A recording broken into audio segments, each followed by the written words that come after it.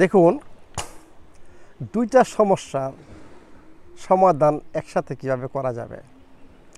এবং দুইটাই দুইটার উপর ডিপেন্ডেন্ট কিন্তু প্রথম কারণ হচ্ছে একটা, আরেকটা হচ্ছে আপনার এটাকে কি বলা হয়? রেজাল্ট এরপরে যখন এইটা আরম্ভ হয়ে যায়, তখন ওইটাও আনকন্ট্রোল হয়ে যায়। এই দুটো জিনিস কি? এই দুটো জিনিস হচ্ছে ব্লাড প্রেশার এবং ক্রনিক কিডনি ডিজিজ এটাকে বলা হয় সিকেডি সিকেডি মেন কারণ হচ্ছে ডায়াবেটিস এবং আপনার ব্লাড প্রেশার যাদের আনকন্ট্রোল ব্লাড প্রেশার কোনো এক সময়ে মাস্ট আপনার আসবে কিডনির প্রবলেম যখন কিডনির প্রবলেম আরম্ভ হয়ে যাবে, তখন ব্লাড প্রেশারটা আরও আনকন্ট্রোল হয়ে যাবে। তখন যেসব মেডিসিন আগে খেয়ে আসছিলেন, ওইটা আর কন্ট্রোল হবে না। ওই মেডিসিনের ডোজ বাড়াইলেও দেখবেন যে কোনো কোনো সময় কাজ করতেছে না। কিসের জন্য? এই কিডনির প্রবলেম আপনার আরম্ভ হয়ে গেছে। এখন কিডনির প্রবলেম আরম্ভ হয়ে যাওয়া মানে কি? আপনার আনকন্ট্রোল ব্লাড প্রেশার আবার আনকন্ট্রোল ব্লাড প্রেশার আবার কিডনির যে প্রবলেম আরও ধীরে ধীরে ডে বাই ডে বাড়াবে এবং ডায়ালিসিসে আপনাদেরকে নিয়ে যাবে। এইটা একটা জটিল প্রবলেম বুঝছেন তো এই জন্য আমি বলি যে এই দুইটা জিনিসেরই একমাত্র ট্রিটমেন্ট সেটা যখন আপনি বিভিন্ন উপায়ে, বিভিন্নভাবে বডিকে অ্যাসিডিক কন্ডিশন থেকে অ্যালকালাইন স্টেজে আনতে পারবেন এবং কিছু সাপ্লিমেন্ট ইউজ করতে হবে এই জায়গায়। অ্যাকচুয়ালি এখানে ঔষধ যত বেশি দিবেন, ততই আরও কিডনির ড্যামেজ আরও বেশি হবে। এই জন্য ঔষধের পরিবর্তে আমার যে একটা প্লেলিস্ট আছে, প্রাকৃতিক সুস্থ খাবার এবং ওইখানে অ্যালকালাইন খাবারের লিস্ট আছে সেইখান থেকে আপনাদের নাইনটি পার্সেন্ট খাবার চুজ করতে হবে এবং অ্যালকালাইন ওয়াটার ভালো অ্যালকালাইন ওয়াটার জোগাড় করতে হবে। সেই অ্যালকালাইন ওয়াটার এবং অ্যালকালাইন খাবার, নাইনটি পার্সেন্ট অ্যালকালাইন এবং টেন পার্সেন্ট, বারে বারে বলতেছি, নাইনটি পার্সেন্ট অ্যালকালাইন এবং টেন পার্সেন্ট অ্যাসিডিক খাবার খাবেন, তখন আপনার বডি আস্তে আস্তে অ্যালকালাইন স্টেজে চলে আসবে। যখন অ্যালকালাইন স্টেজে চলে আসবে আপনার কিডনির প্রবলেম সলভ হবে, তখন ব্লাড প্রেশারটাকে ইজি উপায়ে মেনটেন করতে পারবেন। যা আমি বলি যে ব্লাড প্রেশার ওষুধগুলি ডাস্টবিনে ফেলে দেন। তখন ওই চারটা সাপ্লিমেন্ট দরকার হবে।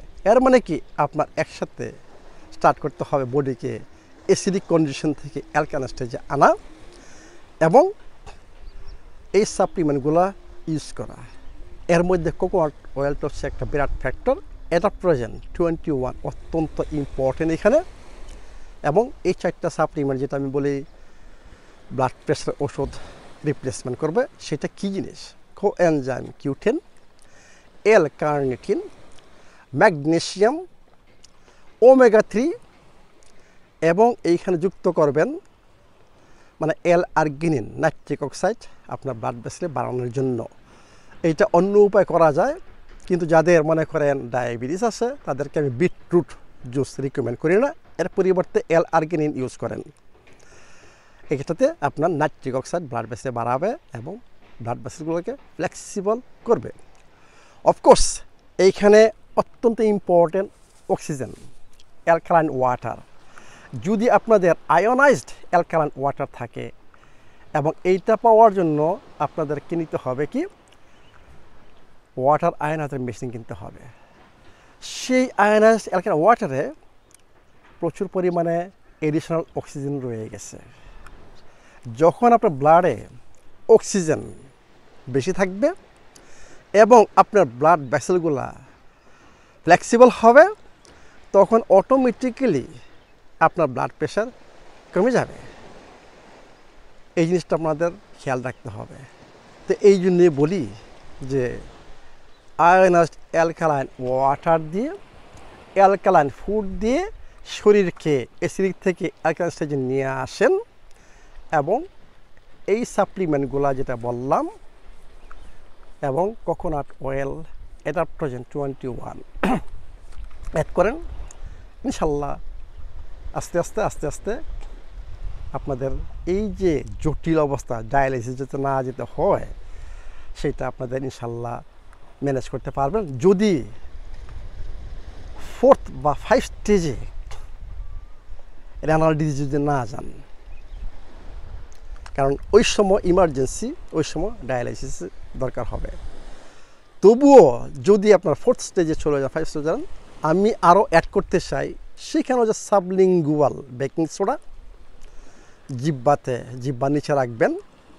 আস্তে আস্তে এটা লালা ই হয়ে আপনার ব্লাডে চলে যাবে। এরপরে পানি দিয়ে ওইটা খেয়ে ফেলবেন থুতু দিয়ে ফেলে ফেলবেন না। মানে এক চামচ, ছোট চামচ আপনি আন্ডার ট্যাঙ্ক রাখবেন। যতক্ষণ আপনার গোলে এটা থুতুর সাথে আপনার ব্লাডে বুঝছেন? জিভ বাড়িয়ে থেকে ওটা ব্লাডে চলে যাবে। আরেকটা এনেমা করতে হবে বেকিং সোডা দিয়ে। এইটার পদ্ধতি হচ্ছে আপনি এক লিটার পানি নেবেন থার্টি সিক্স পয়েন্ট ফাইভ থেকে থার্টি সেভেন এরকম গরম থাকে বেশি হবে না। থেকে এক বড় চামচ, এক বড় চামচ tablespoon baking soda mixed করে এনেমা সেট দিয়ে মানে এই সোডা বেকিং সোডা এনেমা করবেন। এতে করে সোডিয়াম বাইকার্বনেট আপনার ব্লাডে ঢুকবে। সোডিয়াম বাইকার্বনেট হচ্ছে, এটা হচ্ছে আপনার ব্লাডকে এসিড থেকে অ্যালকালাইনে নিয়ে আসবে। তো এই পদ্ধতিগুলোর মাধ্যমে আপনি ট্রাই করুন ডায়ালাইসিস এড়ানোর জন্য এটি কারণ ডায়ালাইসিস এটা আমাদের কি বলব আপনাকে? এটা ম্যানেজমেন্ট মানে জাস্ট ম্যানেজ কিন্তু আমার বডিকে ঠিক করতে, সুন্দর করতে আমাদের অ্যালকালাইন স্টেজে আনতে হবে। তো এই যে পদ্ধতিগুলো বললাম, এই যে দুইটা জিনিস একটার সাথে রিলেটেড একটা একটাকে বাড়ায়। মনে করেন আপনার কিডনি ডিজিজ বাড়াবে ক্রনিক কিডনি ডিজিজ বাড়াবে আপনার ব্লাড প্রেশার আনকন্ট্রোল আবার ব্লাড প্রেশার কিডনি ডিজিজ আরও বাড়াবে। এই যে দুইটার ই, সেটা থেকে উঠে আসার জন্য এই পদ্ধতিগুলা অবলম্বন করেন। ইনশাল্লাহ, আমি মনে করি ইনশাল্লাহ আপনারা রেজাল্ট পাবেন।